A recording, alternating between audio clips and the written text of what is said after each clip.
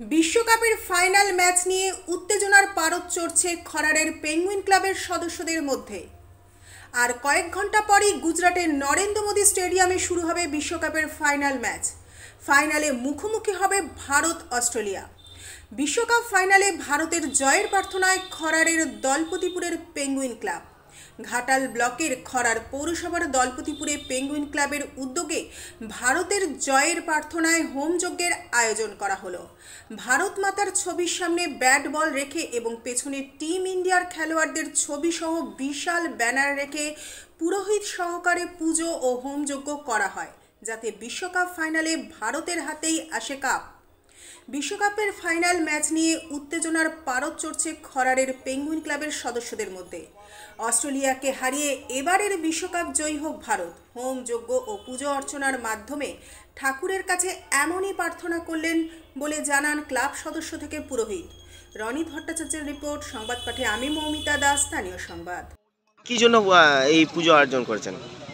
আজকের পুজো আমরা সকলেই জানি আমরা ভারতবাসী হয়ে আজকে আমরা গর্বিত। দীর্ঘ বারো বছর পর আবার ভারত ক্রিকেট টুর্নামেন্টে চূড়ান্ত খেলায় যোগ্যতা অর্জন করেছে। আজকে তার চূড়ান্ত খেলা।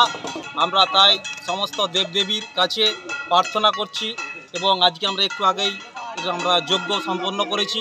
মহাযজ্ঞ আমরা শুরু করেছিলাম বেশ কিছুক্ষণ পূর্বে। সেই যজ্ঞ একটু আগেই শেষ হয়েছে। আমরা সমস্ত দেবদেবীর কাছে প্রার্থনা করছি যাতে আমাদের প্রিয় দল, আমাদের ভারতবর্ষ যাতে আজকের ক্রিকেট খেলায় চ্যাম্পিয়ন হতে পারে।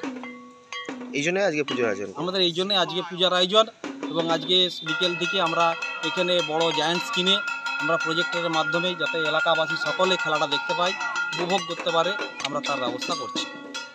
আমরা আমার নাম সুজিত কুমার রায় দলপতিপুর পেঙ্গুইন ক্লাবের পক্ষ থেকে। শুধু এটা পেঙ্গুইন ক্লাবের বিষয় নয় এটা গোটা গ্রামবাসীর বিষয়। গ্রামবাসীরা একটা মহা সমারোহে আজকে প্রহর গুনছে বলা যায়। তখন আম- কি কি কি জন্য পুজো করলেন? আমরা আজকে বিশ্বকাপ ফাইনাল উত্তীর্ণ হব। তাই জন্য আমাদের মহাসমারোহ আমরা কিছুক্ষণ আগে হোম সম্পন্ন করেছি এবং আমরা বিশ্বকাপ যাতে ফাইনালে কাপ নিতে পারি তার জন্য আমরা এই মহাসমারোহ। মানে একদম দেবদেবীর কাছে প্রার্থনা করলেন? করলাম হ্যাঁ। আপনার নাম? আমার নাম পূর্ণেন্দু মুখার্জি। আপনি এখানে পুরোহিত ছিলেন।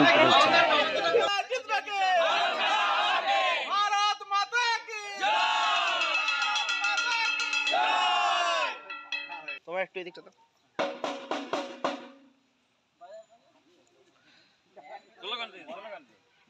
ভারত মাতা